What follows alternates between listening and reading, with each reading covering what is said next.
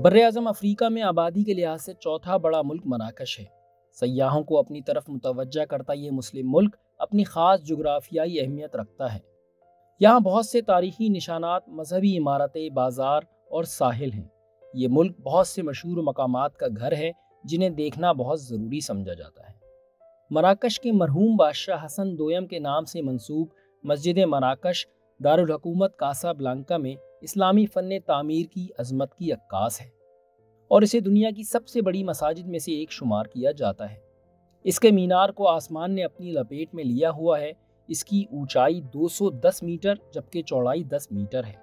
मस्जिद का रकबा 9 हेक्टर है और इसका कुछ हिस्सा ज़मीन और कुछ हिस्सा समंदर पर मौजूद है।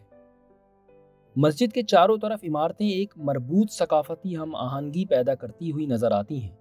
मस्जिद की तामीर उन्नीस सौ सतासी में शुरू की गई थी और ये 30 अगस्त उन्नीस सौ तिरानवे को मराकश के मरहूम बादशाह हसन सानी के दौर में मुकम्मल हुई।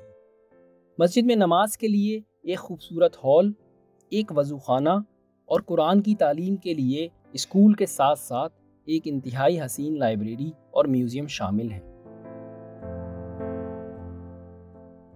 इस मस्जिद की तामीर में मुल्क के इंतहाई काबिल इंजीनियर्स और कारीगरों ने हिस्सा लिया और इस मस्जिद का डिज़ाइन फ्रांसीसी मेमार ने तैयार किया। मस्जिद की खूबसूरती में दस हज़ार से जायद कारीगरों ने हिस्सा लिया था। इस मस्जिद में पच्चीस हज़ार से जायद नमाजियों के बैठने की गुंजाइश मौजूद है।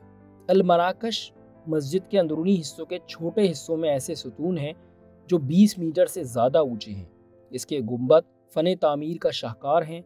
ये दिन के वक्त मुनासिब रोशनी फराम करते हैं और शाम के वक्त मस्जिद की खूबसूरती में इजाफा। रॉयल गेट मस्जिद के 18 दरवाज़ों में से सबसे बड़ा दरवाज़ा है। इसका वज़न चौंतीस टन है।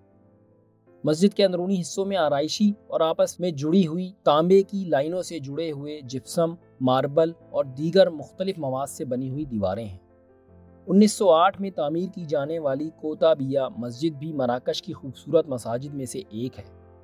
इसे अलमवाहिद ख़ानदान के रिवायती फ़न का बेहतरीन नमूना समझा जाता है। जिसने बारहवीं और तेरहवीं सदी में मराकश और उंदलस पर हुकूमत की थी।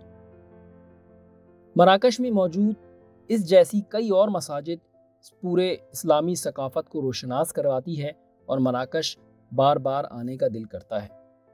मराकश में मौजूद ये तमाम मसाजिद मराकश की इस्लामी सकाफत को उजागर करती हैं और मराकश की ये सकाफत पूरी दुनिया में सबसे ज़्यादा नुमाया है।